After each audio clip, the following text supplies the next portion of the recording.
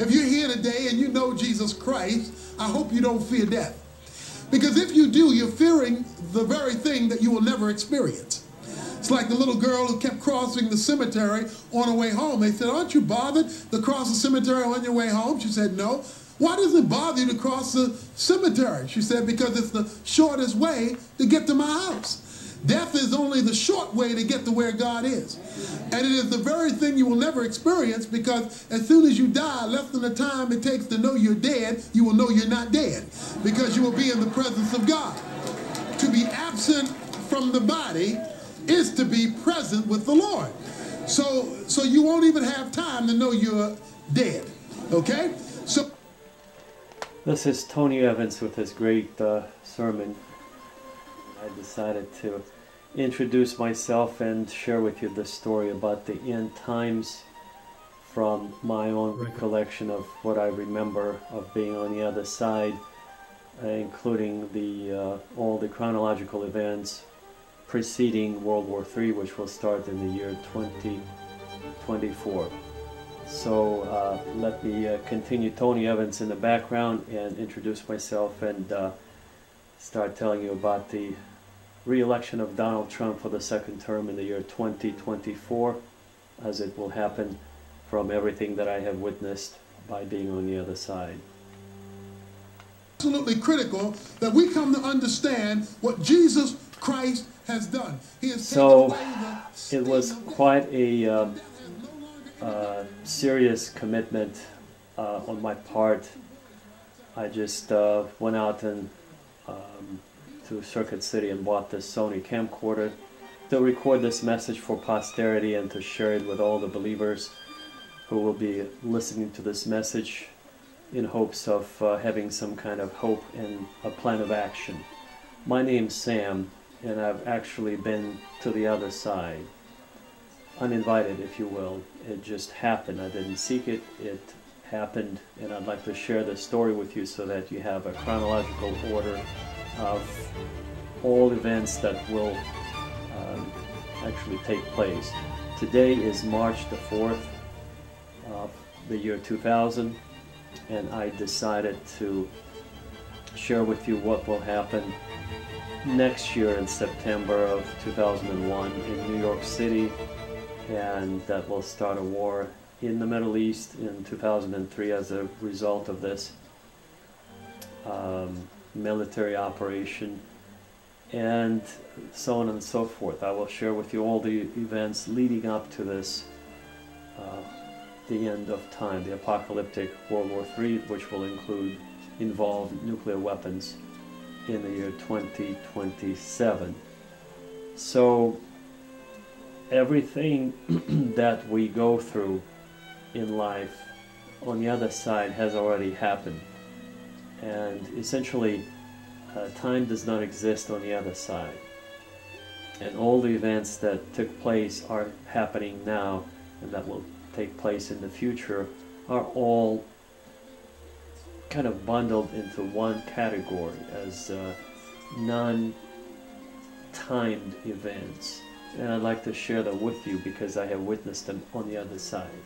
By the way, the language from the other side is not a human language the language that is spoken by God, if you will, or the foundation of everything that takes place is not, not physical, laws, laws or a human language, but rather mathematics or higher mathematics upon which all the um, uh, universe was built. All the galaxies are kind of formulated and they're rotating in a spiral formation. Water kind of whirls around in a spiral rotational shape our DNA helix is actually located in a very similar fashion and so on and so forth. Our even own, our own hair grows on the back of our heads in a similar spiral fashion. So everything resembles this God's design, which is God does not speak Hebrew. Folks, I wanted to share that with you. He does not speak Aramaic or he does not speak Arabic. He speaks mathematics higher mathematics, which is what I just described to the world upon which everything is built, which can only be described as higher mathematics. Many years ago, I was with my parents. Um, I was five years old, and we were driving in the mountains. We stopped for just a few minutes. It was uh, a quick pit stop. And as we uh, got out of the car, as we all got out of the car, myself included, as I put my foot on the ground, I realized that suddenly I was not present on earth. It was a different um, dimension, if you will, a different world. And as I found out later on, after I returned back to my parents, I disappeared from my parents' view.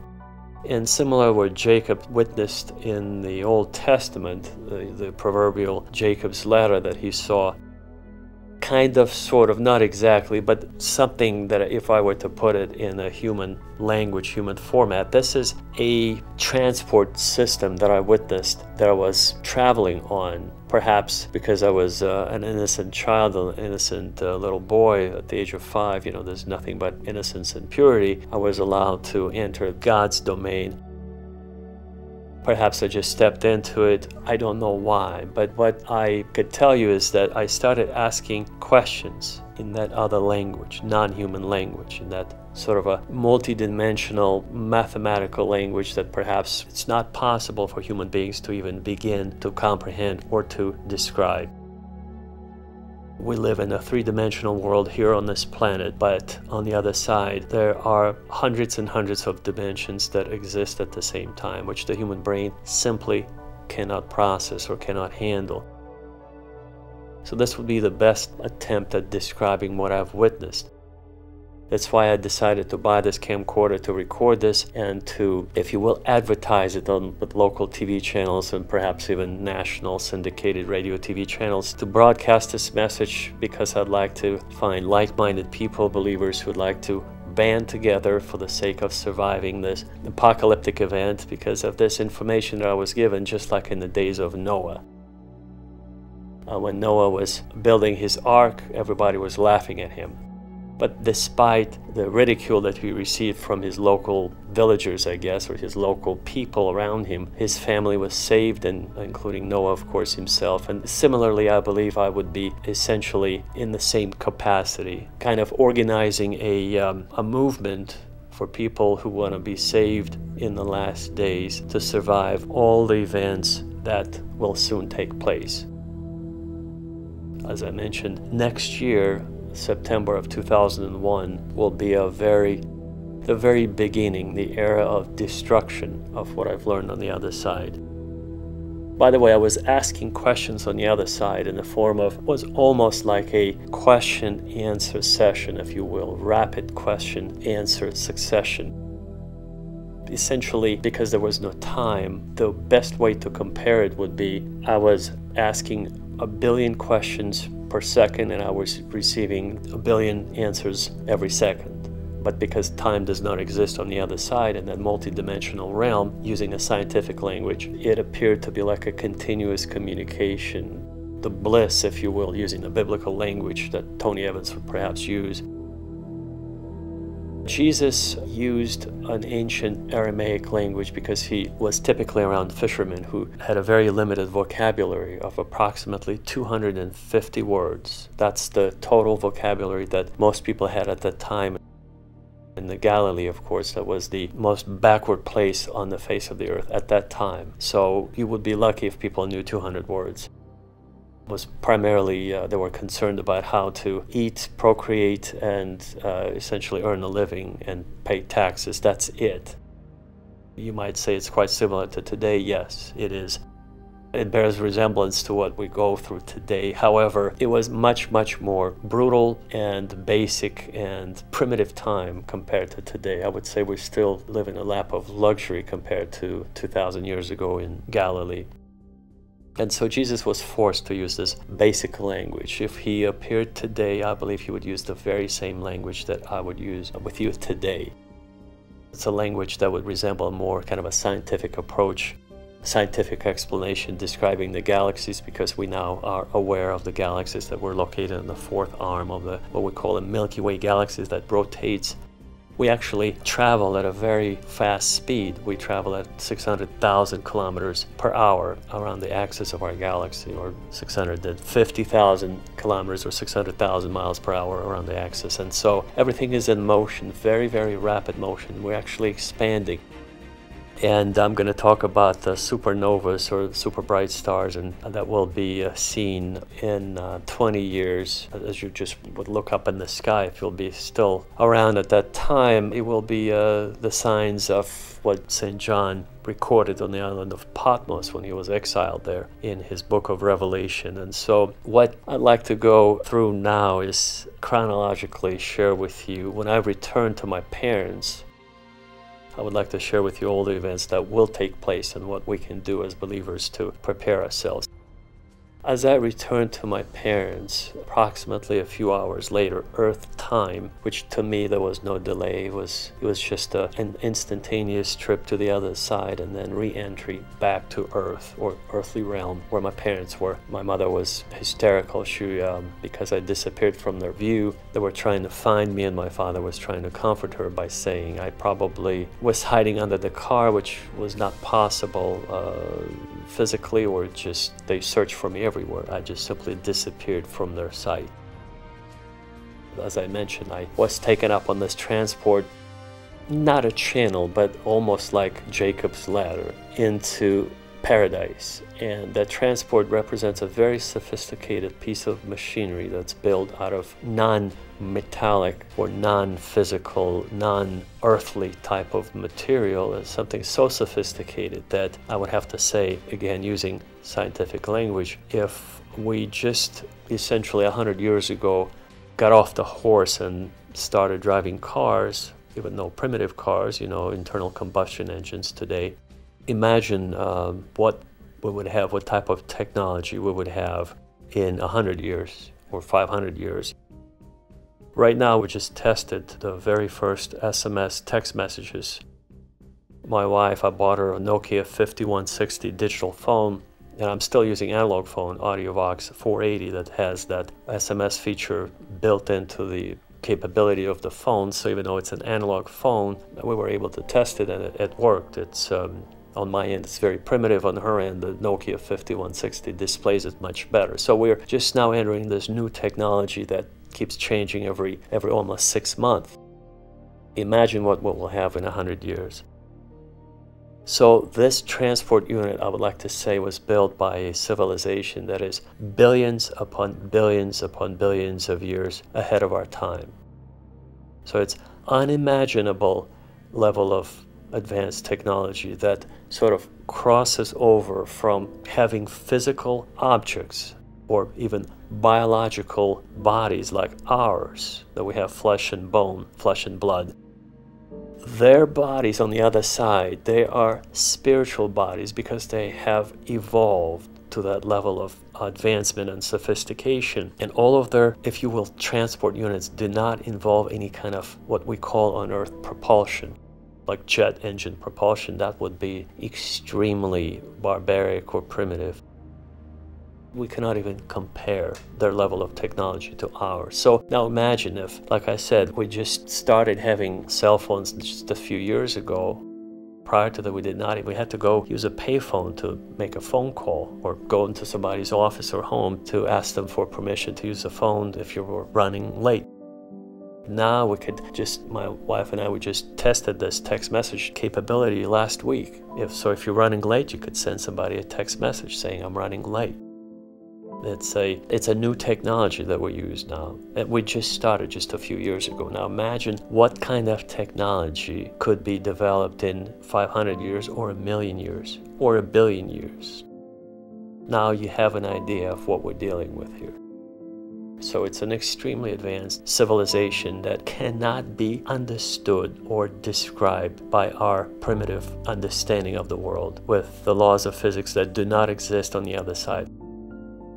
The human mind is so limited and primitive as far as even beginning to approach to analyze it. It simply gives up at some point. This is why in the Old Testament it is written when the angels were using that again primitive Aramaic language, that barbaric language that they were flying through the sky or in heaven and they were crying out, Holy, holy, holy. Let me explain what that means using my new perspective. That means that God, who is a super creative spirit, the source of all life, the source of all light, is, uh, is could be perhaps described as the uncreated light the source of all energy, that is so bright, so pure, so perfect that even the mind or the comprehension of the angelic force the super creatures that witnessed all of the creation cannot, they even give up essentially, and the only thing they could utter, if you will, if there is such a, an expression, if they could say anything, that would be awe. Using the Shakespearean language, of course, you know, William Shakespeare, I'm using him as a standard for describing English words, and the word awesome is the word that uh, should be reserved strictly for describing the most heartbreaking, striking beauty and power that exists in nature, such as the awesome nature of God, not for describing anything else.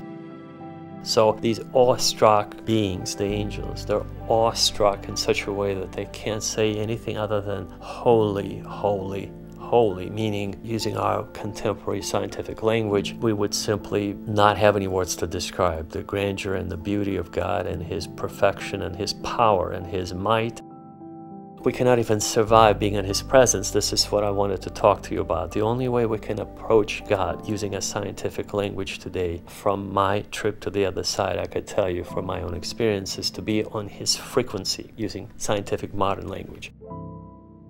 In the old days, they used to call it um, being pious or religious or righteous, and it, it is rightly so. You could describe it as being righteous and doing nothing but good, meaning by being on the proper elevated frequency. So instead of listening to rap music, which is lower frequency, you should be listening to someone like Antonio Vivaldi. For instance, if you like the Four Seasons, uh, you would notice the transition between spring and summer, the most, I believe, most beautiful transition. Now, if you've never listened to the Four Seasons by Antonio Vivaldi, I highly encourage you to do that. And even if you like rap music, I assure you, if your heart is open to the things of beauty, you will immediately switch to listening to Antonio Vivaldi. You'll never, ever, ever touch the uh, that other any other style of music because it's simply not music. It's of the demonic realm. It's primitive realm. It's not going to get you very far in life, and uh, in fact, it will bog you down in uh, an emotional roller coaster, or it will attract nothing but negative events and people and path in life. So let me just kind of continue with my story, since again, the whole purpose of me sharing with you is uh, I've been debating for a very long time whether or not to share the story, and I finally decided, what do I have to lose? You know, life is short and every moment is very, very precious. I'd like to document my trip to the other side to give hope and direction to all the believers, to unite them in this one, perhaps even, God willing, global movement of uh, righteousness, of purity, of elevated spirit. And by the way, Tony Evans represents biblical, obviously, teaching and uh, those of you who are followers of the Quran or the Book of the Dead, if you're a Buddhist, it's really, you have to understand the Bible, the Quran, or the Book of the Dead represents 0.00001% of the totality of the information that I saw on the other side. In other words, it's really just not even half a breath of that would describe all that information. Half of it actually was not quite properly represented, and I'm the judge of that because I've been to the other side. I've seen God, if you will, face to face. And I'm here to share with you what it is like on the other side. The fact that you could see from the other side all of the events that are taking place in that multidimensional, beautifully interwoven fabric of events that have billions and billions and billions of possibilities depending on the spiritual state of the human being here on earth.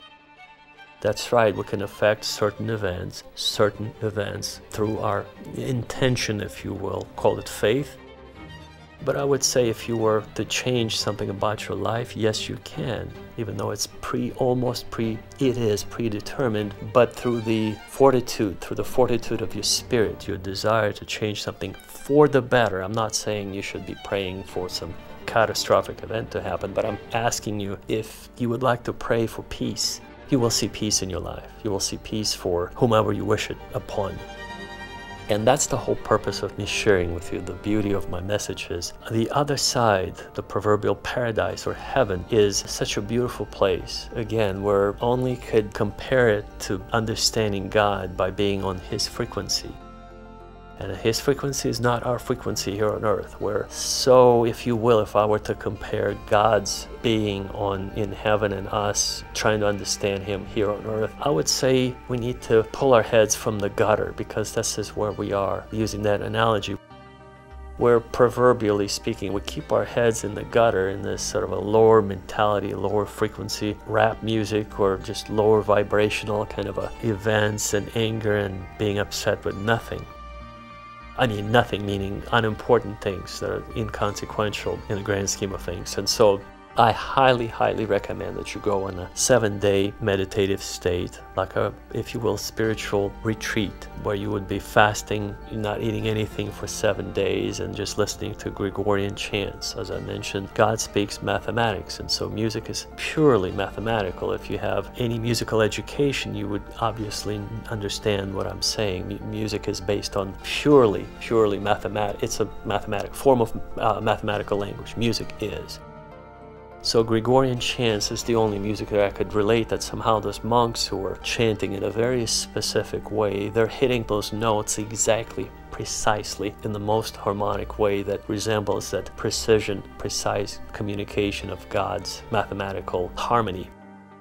So I wouldn't recommend anything other than Gregorian chants. If you happen to like them, they will help you focus. No news, no TV, just you and your glass of water in the morning with some lemon and just reading the Bible or the Book of the Dead, whatever you like to meditate on. You don't even have to have anything but it, it helps to have some kind of a spiritual material while you're meditating in the morning before the sun comes up, preferably for seven days straight. And within seven days, you realize that 95% of all the thoughts and everything you think you represent are not they're not your thoughts they've been implanted there by society by your parents by your friends by the media by everything that surrounds you that you've been while you were growing up from time you were born until you became conscious of your existence here on this planet and so I highly recommend that you do that. That's a very important step in your spiritual evolution. And so Moving on, so when I returned from the other side, my mother was, as I mentioned, hysterical.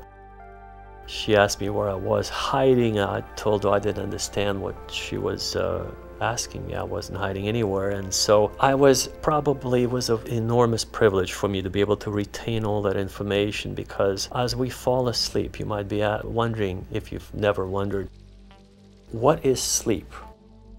What is the purpose of us falling asleep every, uh, for all mammals on this planet, including, you know, animals and plants? What's the purpose of sleeping at night? Is it for our physical bodies to be rejuvenated? I'm going to give you an answer that I received on that I saw vividly on the other side. It's actually not giving rest to your physical body is just a side effect of actually connecting the God's frequency while your spirit leaves partially your body, goes to the other side partially. This is why some of the dreams are not very vivid or lucid and you cannot move typically. You cannot really bring the um, anything about on the other side and transition it in the materialize it in this physical world. But I have to assure you that that world is the threshold to the real paradise. In fact, if you think about it, we sleep a third of our lives. And sometimes one should question, you know, are we really alive here while we're awake or are we more awake while we're sleeping and we only dream about us being awake because it's a really it's a dichotomy it's a strange kind of a comparison if you think about it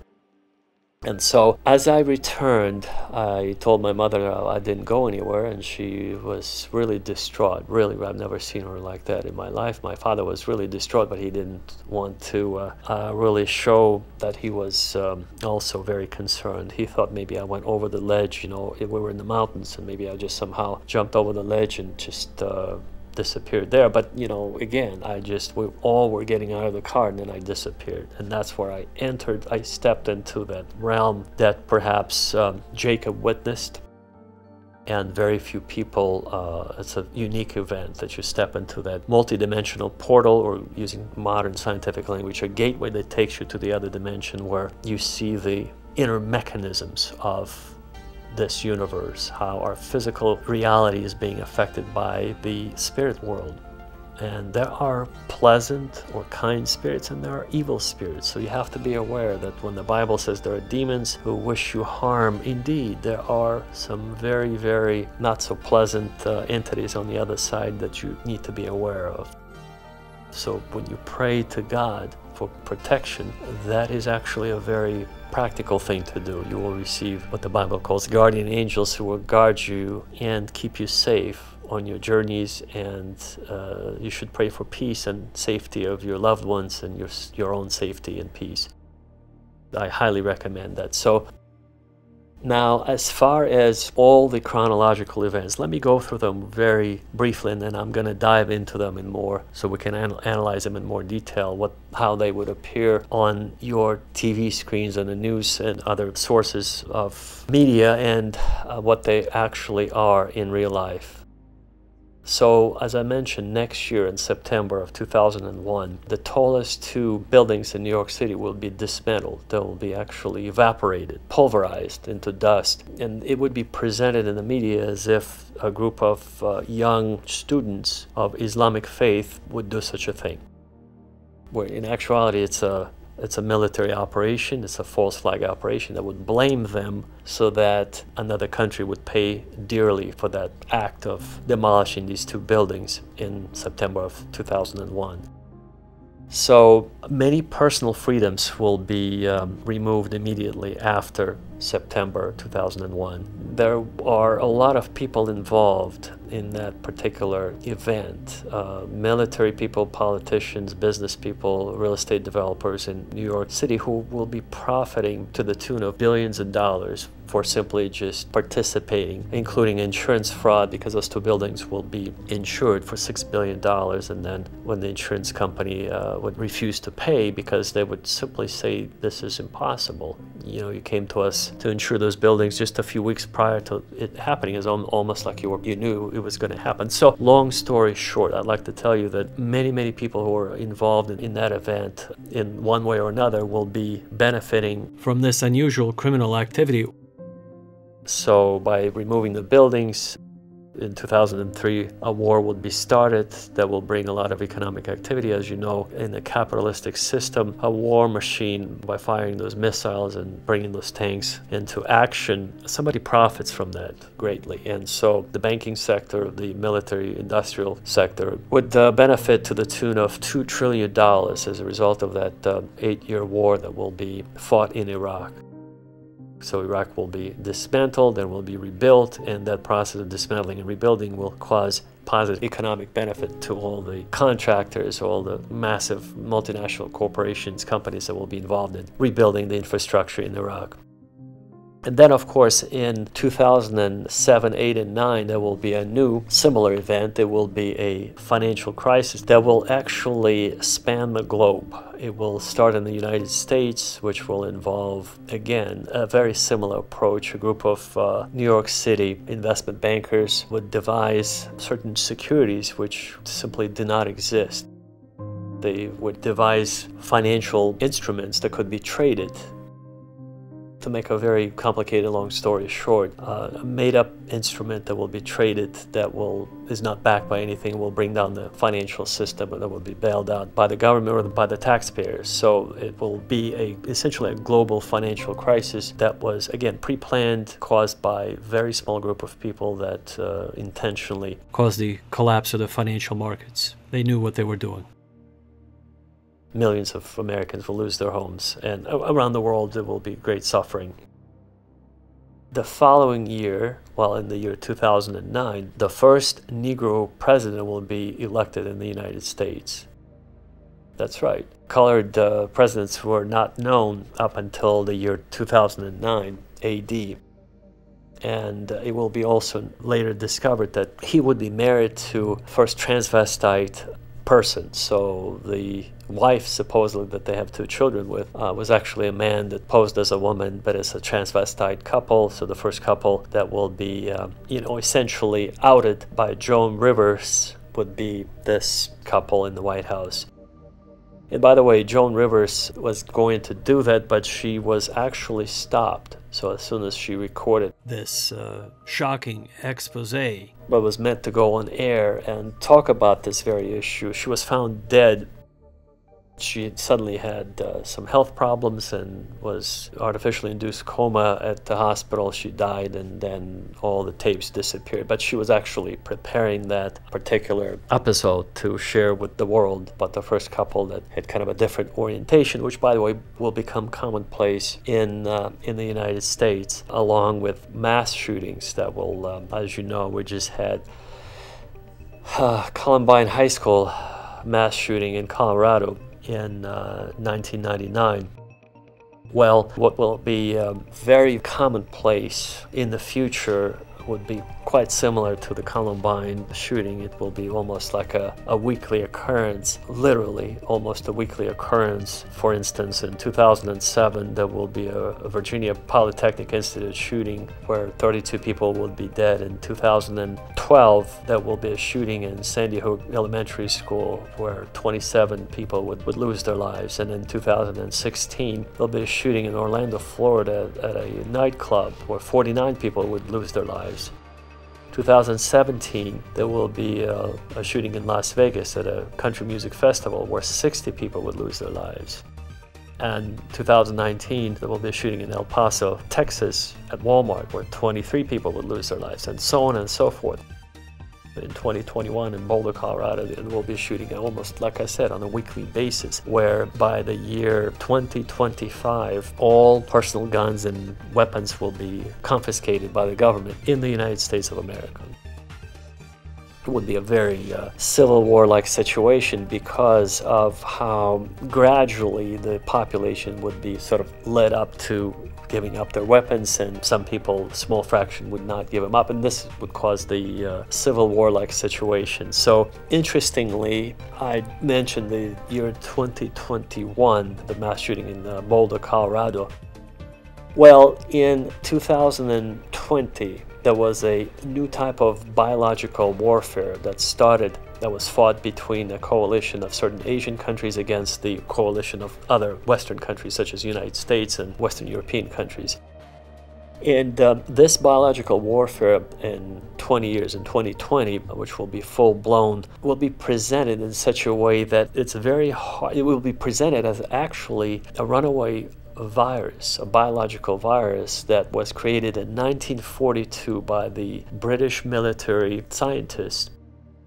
They essentially created the first biological virus to be used against the German troops during the World War II action. So, so they took this small, in 1942, they took this small bomb and detonated it two kilometers off the coast of Scotland on a desolate island and they brought some animals to obviously to be to test this you know biological weapon on.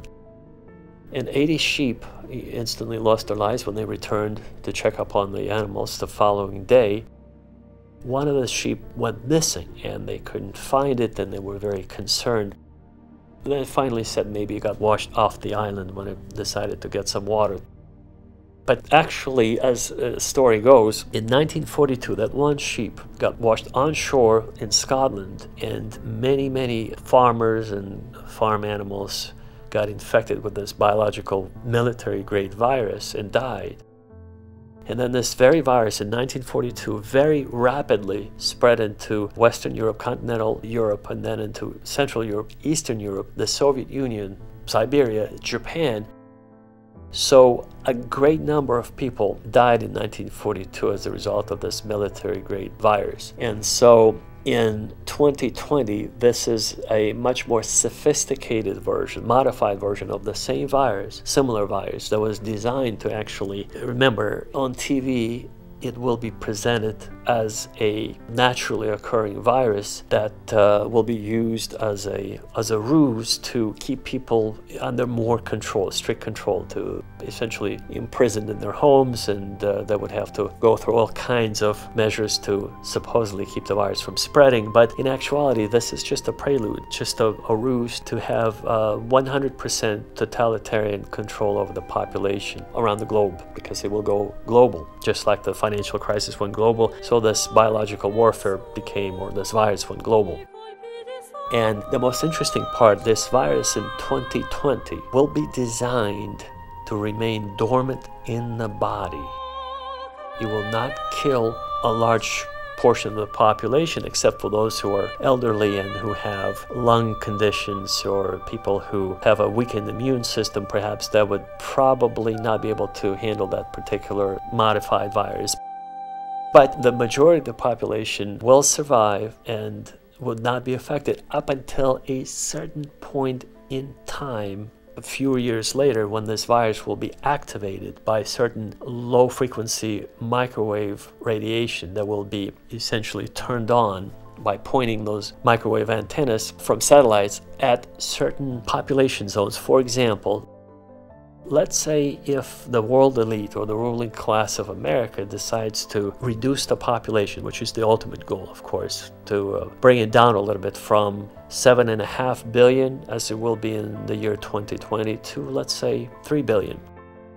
Well, they can selectively choose certain countries, let's say Tunisia or Morocco, point their microwave antennas from the satellites, from space, activate that frequency, and that dormant virus that's present in those people living in those countries will activate. And that uh, obviously uh, the uh, symptomatology will take effect and they will succumb to whatever disease that's been pre programmed to be activated by this certain radiation or this certain microwave radiation, essentially.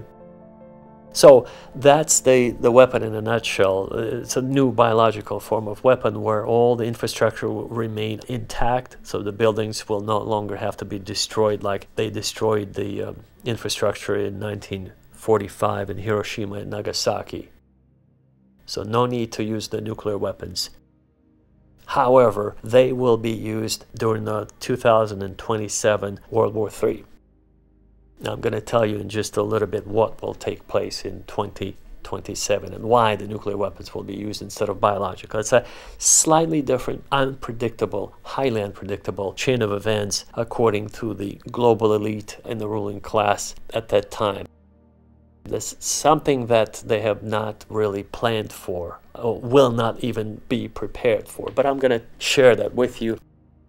Uh, so moving on, so the, the, the, year 2020, that's the uh, new type of biological warfare that will be fought. And the, uh, that's a perfect way of introducing the biblical mark of the beast to people, how they would have to get certain passports, digital passports, or they would not be able to travel anywhere or buy or sell anything, which is directly from the pages of the book of Revelation that St. John wrote about while on the island of Patmos, which is today a Greek island, but at the time while he was there, he was an exile, similar to Australia for the British Empire, where they would exile all of their prisoners to. So the island of Patmos was part of Roman Empire's prison island where they would uh, exile political prisoners and, and the like. So on the island of Patmos, he wrote, I believe in chapter 17, he wrote that uh, here is wisdom, let him who has understanding calculate the number of the beast. For his, this number is a number of a man, and this number is a number of 666. Now, what does it mean, you might ask? What does it Well, let me tell you from that eternal perspective that I'm very privileged to have. So during the 2020 biological fake biological warfare. It's actually, the war was real. It was just presented as something else. That's why I'm saying it's fake in terms of how it's presented on your TV screens. So it will be presented as a naturally occurring event, uh, virus. While it, I just told you it was created in 1942 by the British military, and ever since that point in time, it's been heavily, heavily modified every five years or so.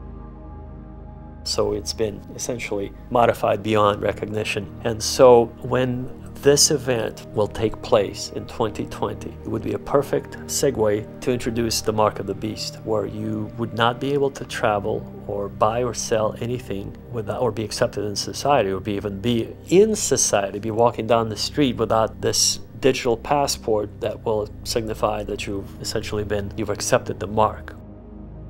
Well, what is the mark, you might ask? What is this mark? Well, essentially, it's nothing but a digital form of acknowledgement that you have been vaccinated for this. They will call it a virus, but it's in actuality, it's just a, um, it's something else. So, very interesting. In um, the same year later that year in 2020, a very interesting event will take place. As I mentioned, the war in Iraq lasted for eight years, but there will be another war that will be fought that is no less important, and yet very few people would even hear about it in the media, in the news, on TV and radio. You see, Mount Ararat is currently located where Noah's Ark landed. Currently located, it's technically Turkish territory because it was given up by Armenia where it used to belong to, in 1921 at a Kars Treaty, where they had to trade territories to pacify the local conflict zone because of the Kurdish rebels and guerrilla fighters. There were a lot of casualties and problems, military action at that time in the 1920s on the border of Armenia, Turkey, and Iran. And so to pacify, well, at that time, Armenia became part of the USSR. So to pacify all the parties, the Soviet Union gave up Mount Ararat to Turkey.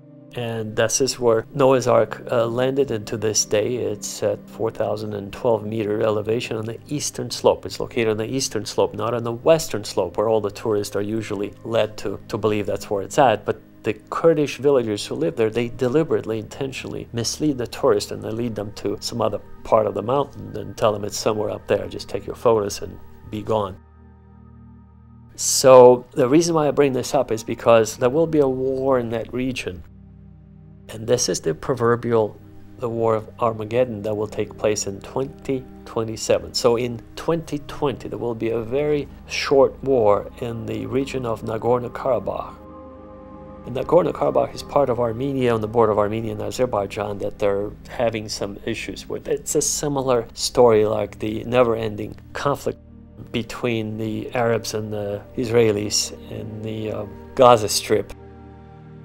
And so, so Nagorno-Karabakh is the Gaza Strip of the Caucasus, you know, if you will. And so there will be a war that will be lost by the Armenians, will be won by Turkey, that will use Azerbaijan as a pawn to sort of essentially, as I mentioned, all events on earth usually get influenced or they get started with the help of the spiritual beings from the other side.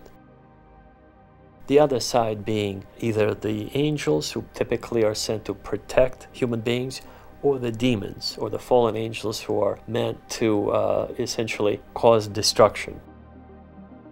The demons are sent to start physical fights, verbal fights, wars, and so on and so forth. And so the war in Nagorno-Karabakh is just an opening into the global conflict that will escalate in seven years after that war. In 2027, the World War III will actually start in that very region.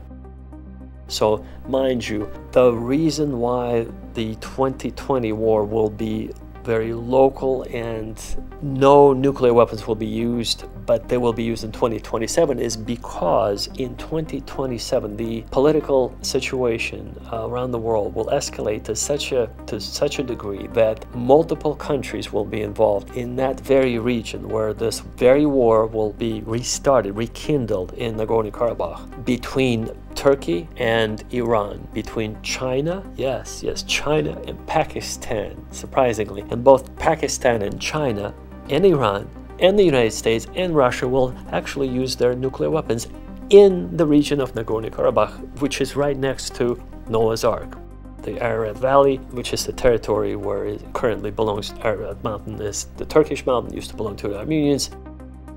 And there will be this multiple debates over the territory who it belongs to. Long story short, in 2027, you definitely want to be in a bunker not in the Caucasus, not anywhere near, because it will be the most devastating war that the human race have ever seen.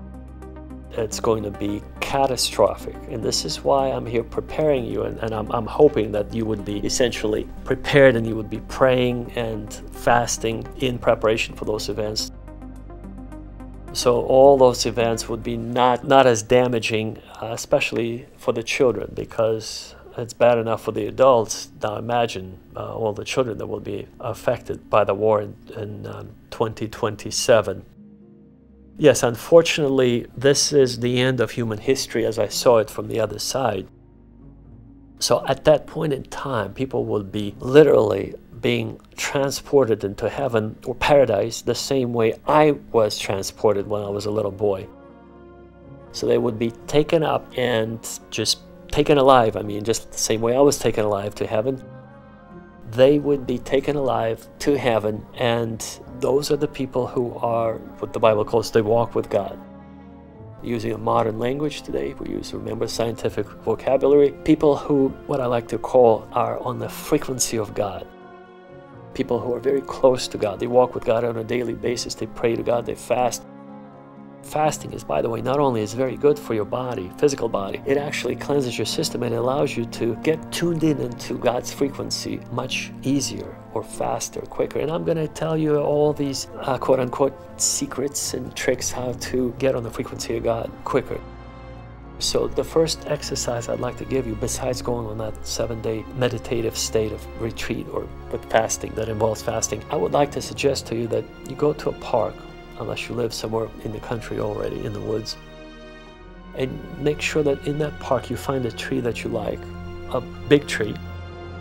Make sure there's no no people around you because it, they will ridicule you and you would not be able to do this exercise correctly. You will not be able to reach the frequency of God.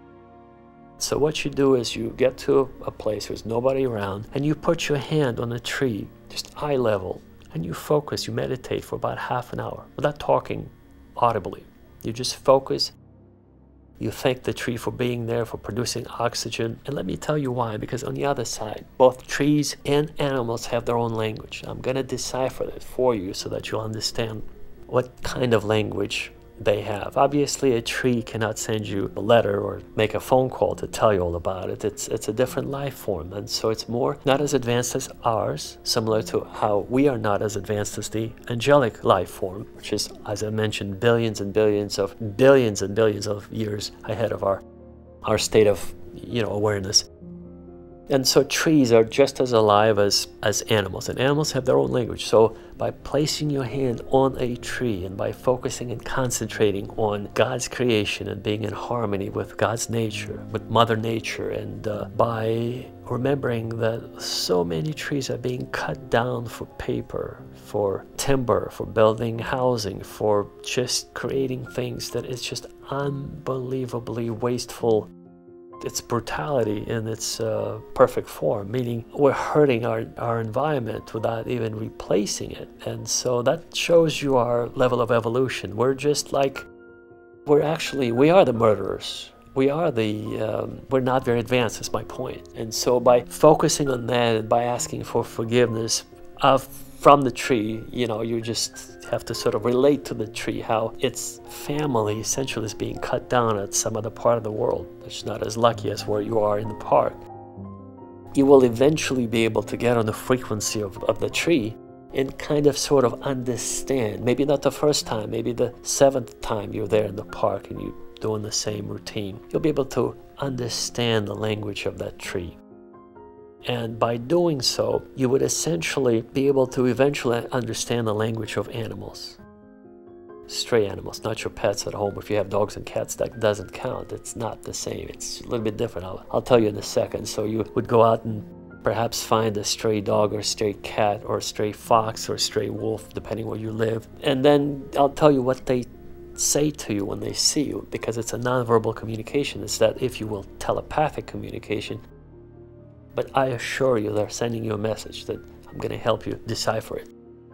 So the tree is going to express to you its gratitude eventually once you get on that frequency.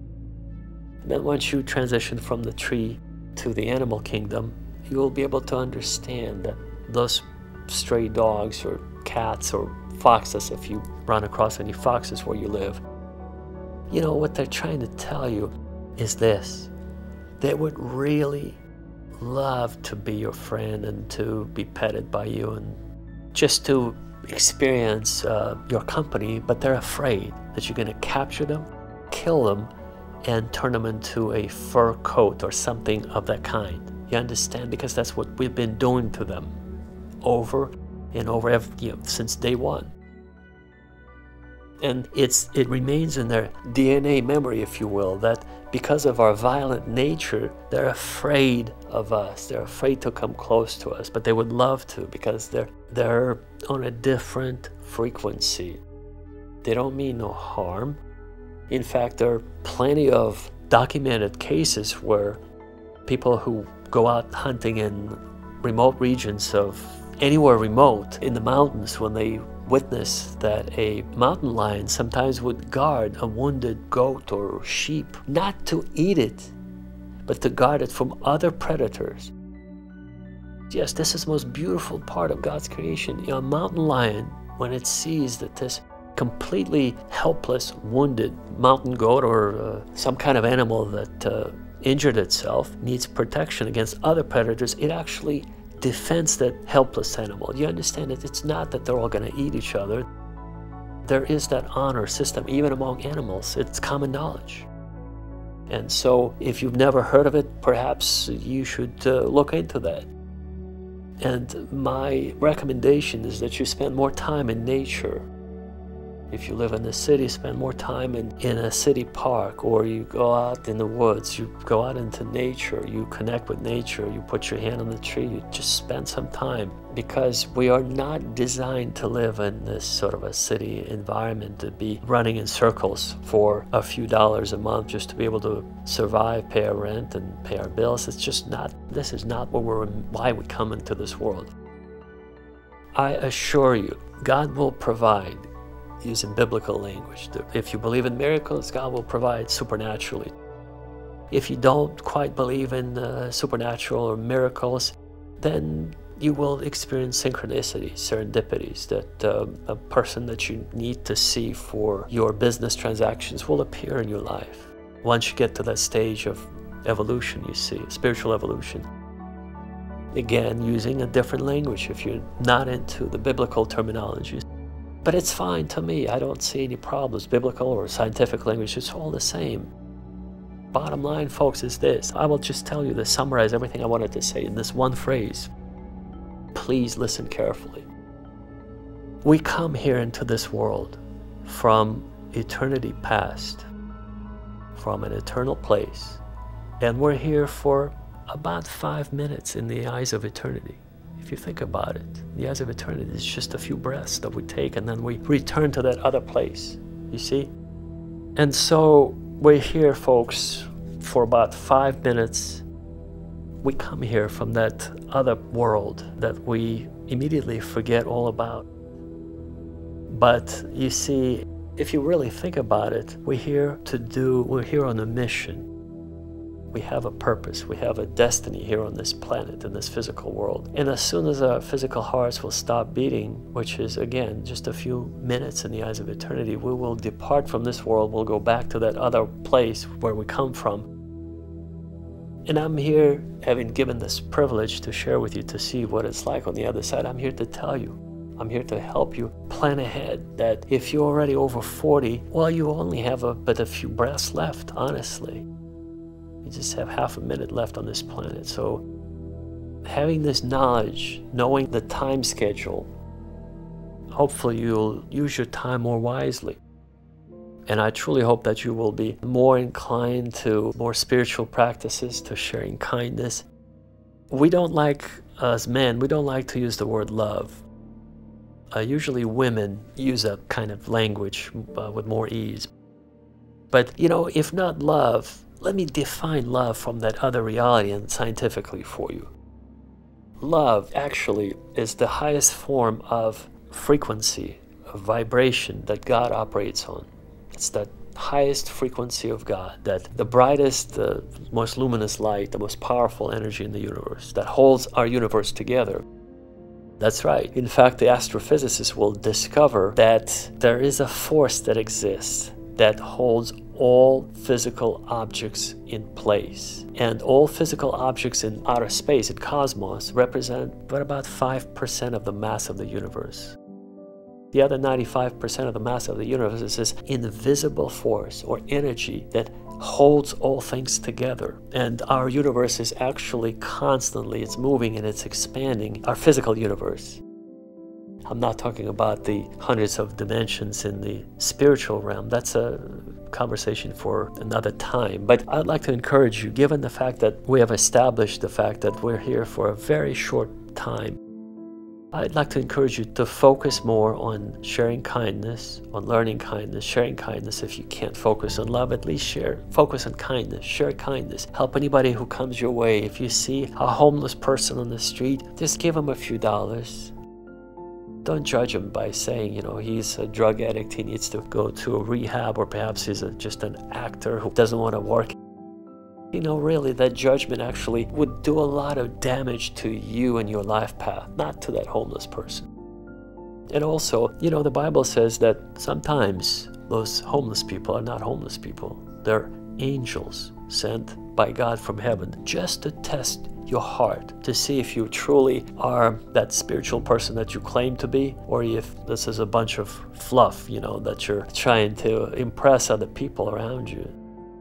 So when you don't help a homeless person on the street, you know what that tells about you? That means that you actually don't fully understand the reality. You know, again, the Bible says by entertaining strangers, sometimes we have unwittingly entertained angels. And we don't know when we're dealing, when we actually deal with angels or when we deal with the actual homeless people. So that's why I highly recommend that you just try to be kind. Give them a few dollars. If you don't have money, give them your energy, give them a hug, offer help, offer whatever help you can, whatever help you're able to give.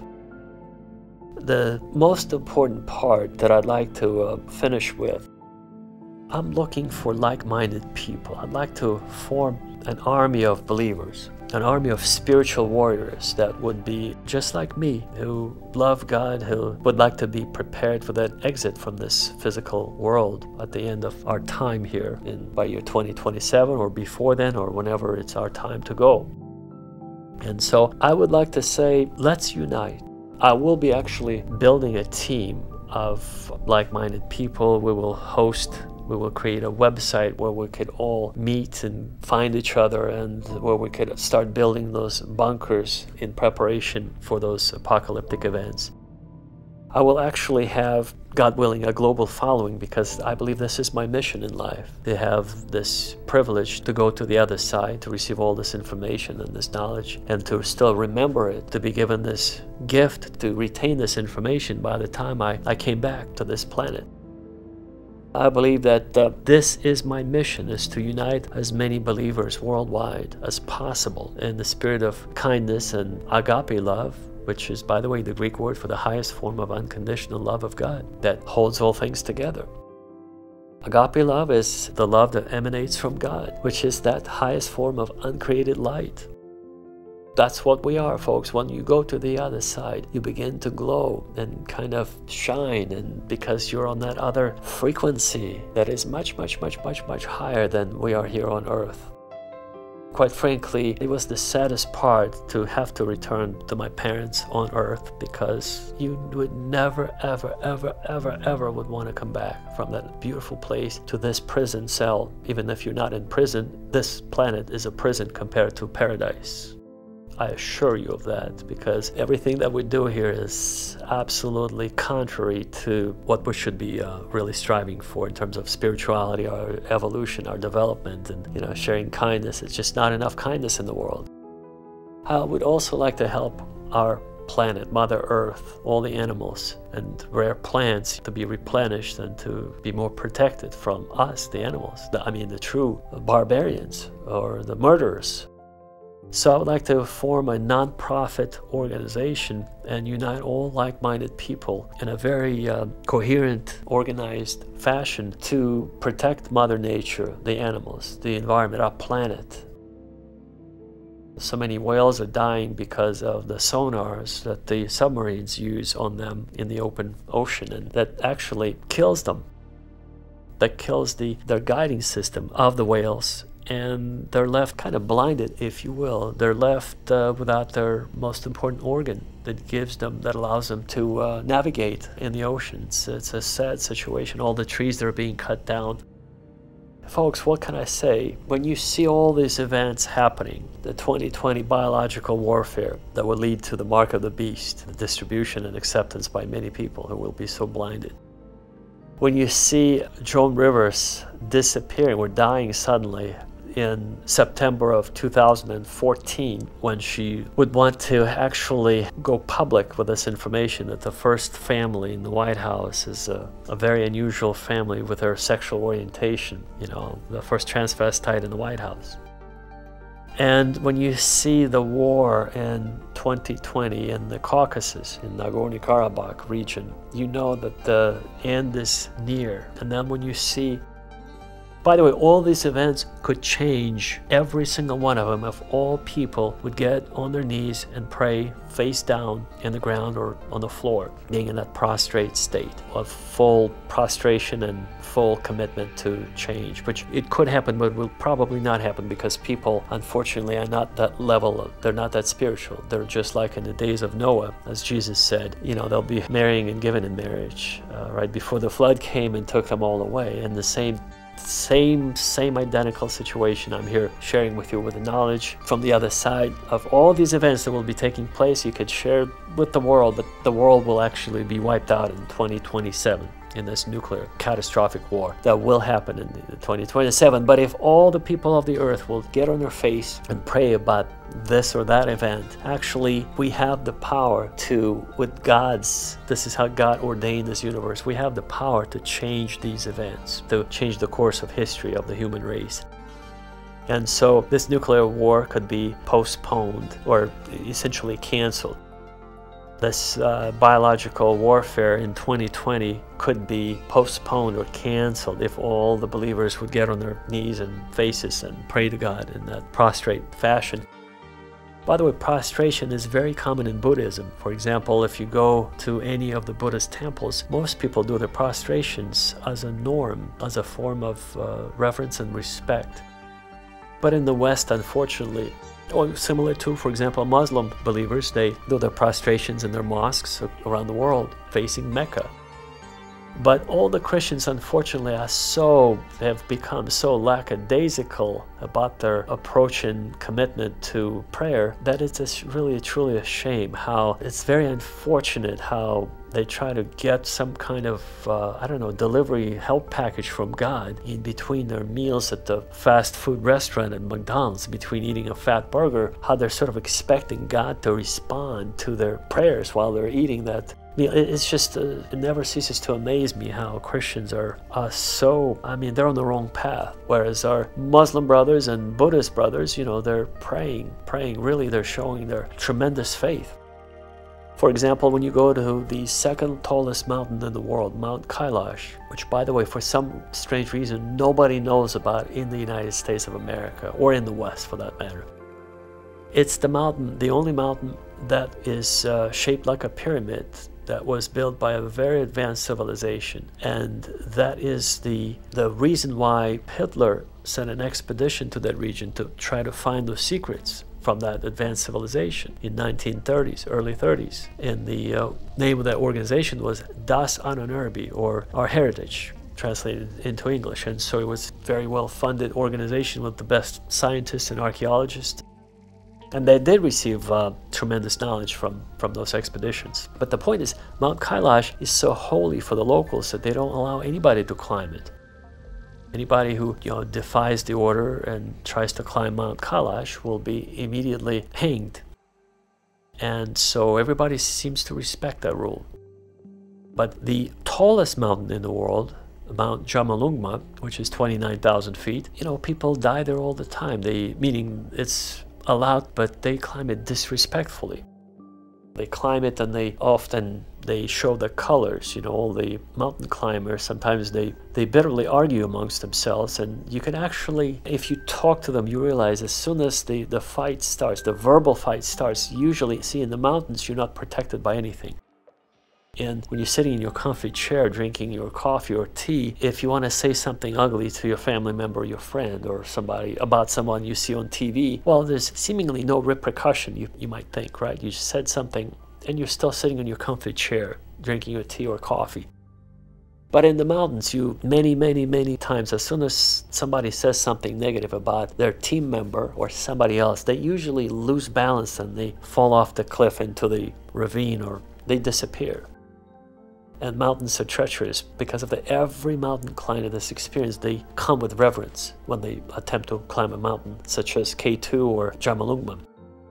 Yes, Karakoram Mountains in northern Pakistan are the most dangerous mountains in the world, more dangerous than Jomolungma.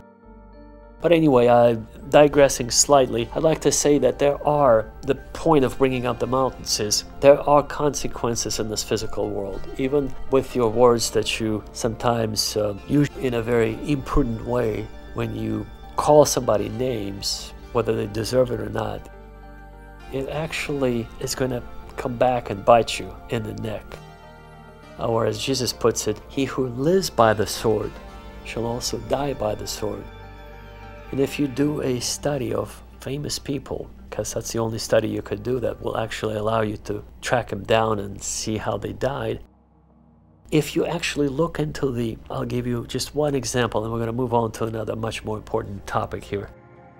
Jesse James, who used to kill people for for a living, and uh, he was killed by someone who was actually holding the same gun who was killed by another person who was holding the same gun. It's amazing. And then on and on and on and on. It's like a cycle of violence.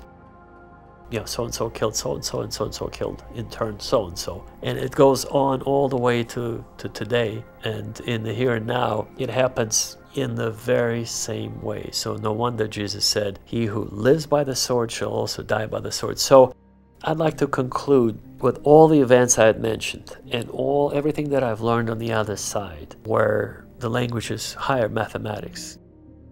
God operates in a very unique way, and from that eternal perspective, the only thing that we could relate to is kindness and agape love, or the highest form of vibration or desire to help another human being. I would like to invite everyone who agrees with this message, who is called to hear this message. That's right, if you hear this message, if you're hearing it right now, that means it was meant to be. Your name was written in the book of life, and you are called to follow this mission, this movement that I'm organizing.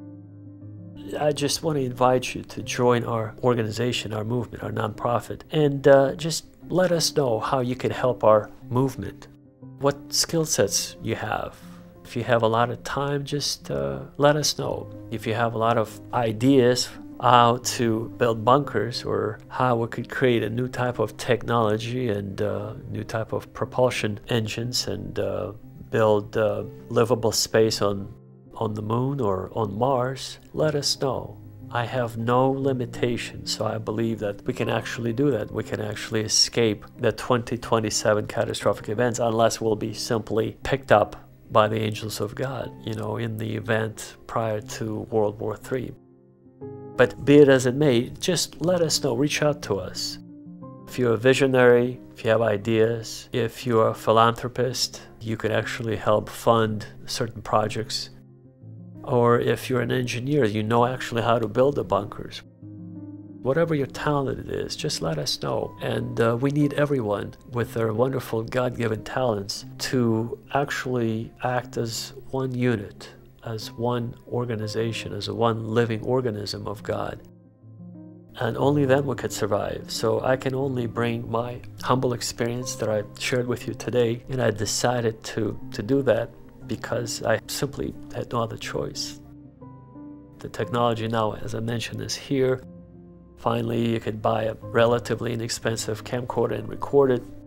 And uh, I also am recording it on a, a, separate audio device just in case if something goes wrong with the internal camcorder's uh, microphone, so that way my voice could be heard separately. But on and on, I just decided to uh, bring up Tony Evans and his wonderful message. And of course, who knows what kind of technology we will have in 2027. Perhaps uh, this type of message may not be what will be commonplace, Perhaps we'll be using much more advanced technology that would allow us to gain immediate instant access to, to this message and instantly have a hologram projected in front of us or perhaps in our inside our brain. My trip to the other side actually ended right before the year 2027. As the war was getting started, there was no further information that was given to me or I was allowed to see how events would progress from there All I know is that the war will happen. It will be nuclear, and multiple nations will be involved, and those select few souls would be few souls, yes. Not, uh, it will not be a mass exodus to heaven. It will be select few souls will be taken alive to heaven. But for those of us who will uh, remain on earth at that time who we're still alive, you know, we would have to survive. And that's the purpose of this message is to unite us all, the best of the best, like-minded people who will be sharing kindness and a common vision of worshiping God, survival, and building a new kind of society on Earth or perhaps on the moon or on Mars with new kind of uh, understanding and awareness, new kind of technology that uh, perhaps I have faith we, we might possess and uh, we'll be able to travel instantly. I do not mean the rockets. I do not mean the rockets. Please don't misunderstand me. That's not the type of technology that I In fact, I'm working right now on a few ideas how to implement everything that I've learned on the other side to have the first device that will uh, defy the laws of physics here on Earth. And as soon as I have it operational, I will share it in another message similar to this one. On this note, I'd like to wish you all the best. I would like to encourage you to reach out to us. Let us know how you can help us. Let us know where you are. Let us know briefly about your history, where you come from, how big is your family, and uh, what your special traits are, special skills, how old you are, and uh, preferably, hopefully, you'll speak English if you're going to be uh, contacting us from outside of the United States.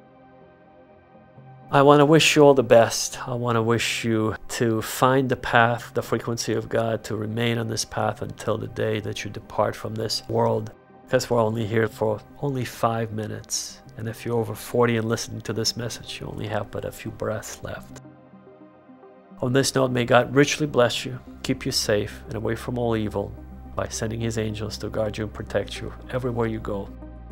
God bless you, take care, and I hope to see you on the other side in paradise of God.